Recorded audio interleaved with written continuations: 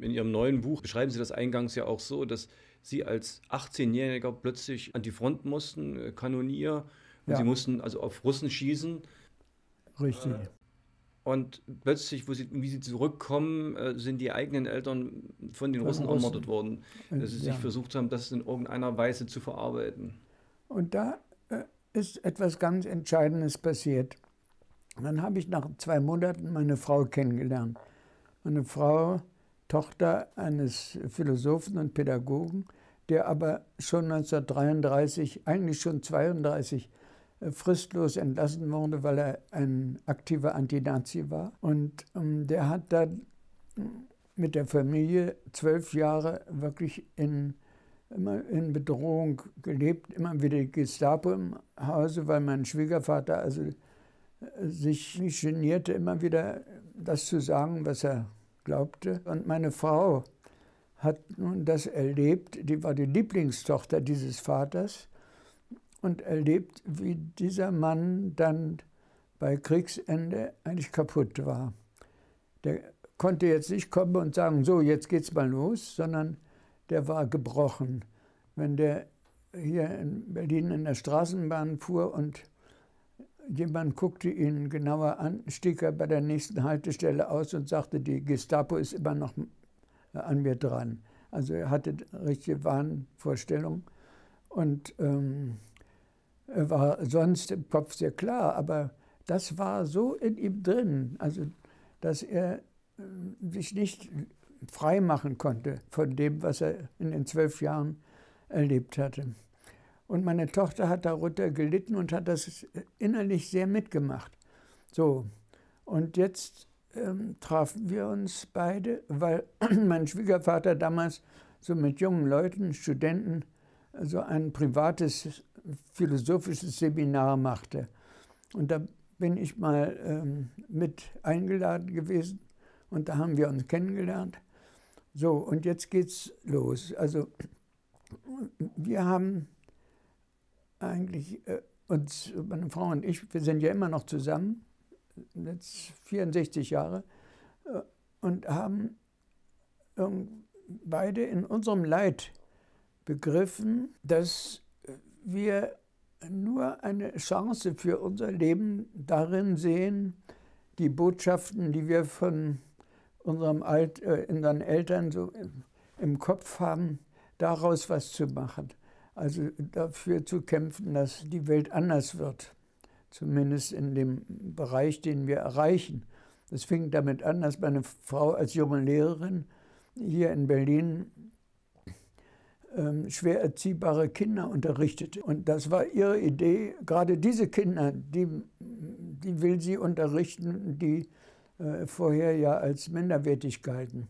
Und ich habe sie dann, also als ich dann meine Ausbildung machte, dann darin unterstützt, dass ich dann zum Teil mit den Eltern dieser Kinder mich beschäftigt habe, um den Kindern zu helfen. Die Zukunft, das heißt, das sind die Kinder. Und äh, wir wollen, dass diese Kinder gleich in eine andere Welt herein, äh, hineinwachsen. Und wir hatten gleich, obwohl wir in dieser Ruine hausten, wir haben also in diesen zwei Zimmern gehaust, mussten die Wände flicken zusammen mit Hilfe eines Maurers, hatten nur ein Zimmer, das heizbar war, so ein kleiner ähm, Steinofen.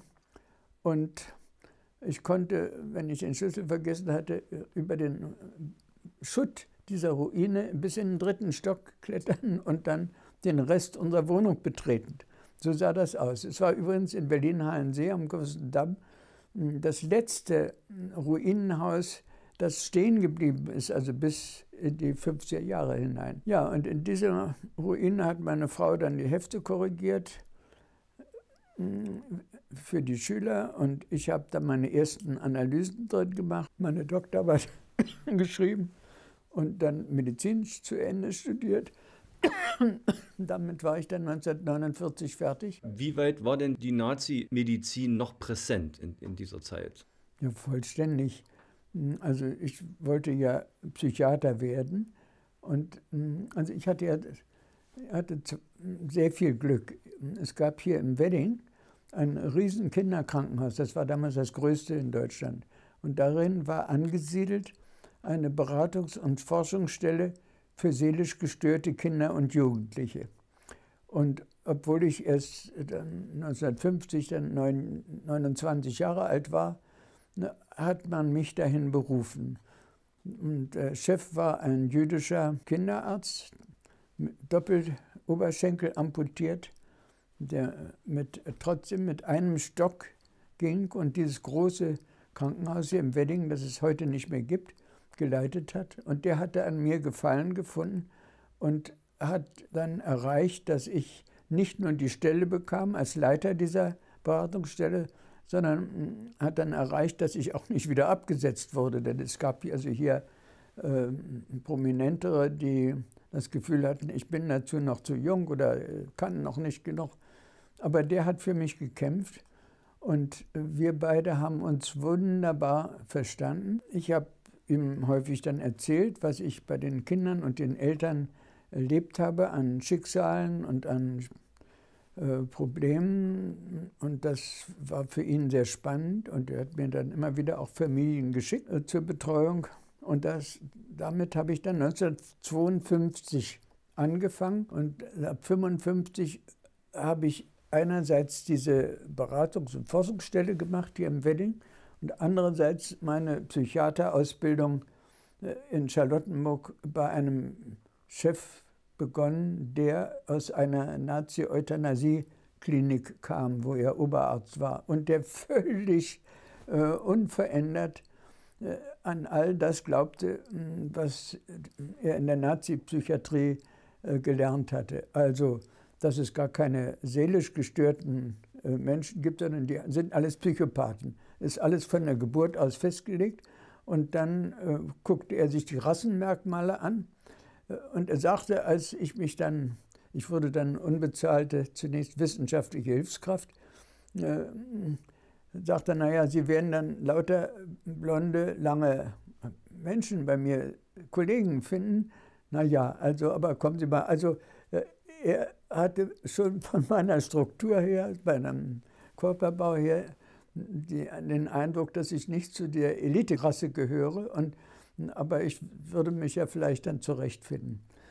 Nun war ich aber mit Leib und Seele schon, zumindest mit der Seele, voll Psychoanalytiker und das war für ihn Gift. Da war das also für mich die Hölle, weil ich ja nicht verschwieg, dass ich eine ganz andere Einstellung zu den Kranken hatte. Und das war also dem, diesem Chef, der nur glaubte, dass alles angehören, äh, also angeboren ist und äh, dass vor allem die Kranken dann Disziplin brauchen und äh, Chemie, das war das seine Vorstellung, während ich mich 100, äh, stundenlang hinsetze, um mit den Patienten zu sprechen. Und das war für ihn ungehörig und sinnlos und so weiter. Und er schikanierte mich und machte mich als Psychoanalytiker vor den anderen immer, äh, Kollegen lächerlich. Ähm, das wirkte sich praktisch so aus, dass ich ähm, die ersten paar Jahre, obwohl ich Stationsarzt war, bezahlt wurde als wissenschaftliche Hilfskraft und er gab mir keine Assistentenstelle. Ich hatte nur dann das Glück, dass ein Jüngerer, der keine Kinder hatte, seine, der sollte dann die nächste Assistentenstelle bekommen und kurz bevor er ernannt wurde, stellte sich heraus, dass der seinen Doktortitel äh, gefälscht hatte. Und es blieb ich übrig und so konnte er nicht mehr an mir vorbei und so bekam ich dann eine volle Assistentenstelle. Aber wir waren immer im Krach und das ging so weiter, dass ich mal ein halbes Jahr die Bibliothek nicht betreten durfte. Und später ähm, hat er meine Habilitationsschrift drei Jahre ungelesen liegen geblieben, liegen gelassen, auch zur Strafe. Und meine Frau hat das ja alles äh, miterlebt. Ich wollte schon resignieren und gesagt dann, also ich lasse die Wissenschaft und ziehe mich dann zur, werde Praktiker als Psychotherapeut. Aber es gab dann auch einen Freund unser, von uns, der sagte, nee, du Horst, du musst das weitermachen, du bist für die Universität geschaffen, also äh, halte das mal durch. Meine Habilitationsschrift war übrigens Eltern, Kind und Neurose. Äh, also ist gerade erschienen, jetzt in der 33. Auflage immer noch Pflichtlektüre der Erziehungswissenschaft. Hm, aber er hat es drei Jahre liegen lassen damals und nicht äh, angeguckt.